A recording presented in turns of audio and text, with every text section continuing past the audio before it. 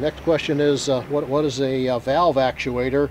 Uh, have a simple one right here. We have a choke butterfly valve right here at the top of this carburetor, right in the air horn. The choke is used uh, to start the vehicle when it's cold. So what has to happen is that this choke, uh, which is actually partially closed, has to close off this passageway and basically has a choke effect. What happens is that it causes fuel to be flooded into the engine, into the intake, and you can start the engine when it's cold. Once the engine starts, this has to open up and let air in.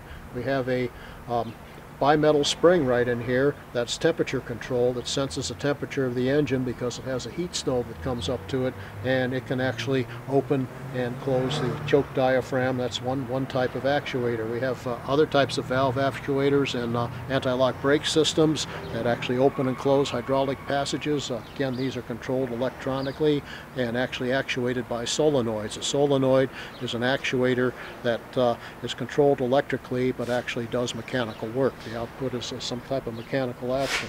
We have uh, actuators on uh, on starter motors where we have uh, starter solenoids on top. Uh, we have um, again uh, vacuum actuators on heating, ventilation, and air conditioning systems, and all, all different types on, on vehicles. So again, uh, just depends specifically what type of actuator you want to focus on. The other thing in the engine, if you're going to talk about valves, the camshaft actually opens the engine valves at the correct time. So the camshaft is nothing more than an eccentric lobe that actually pushes up against a cam follower or valve lifter and that either via a push rod or directly will push open the valve and hold the valve open for a certain duration and then it will close once the camshaft rotates and the, the uh, cam follower lifter comes back down on the base circle of the camshaft. The spring on the valve also helps close it so a lot of times uh, when an actuator opens a valve it may be closed by spring tension and not by the actuator itself. In some situations depending upon the system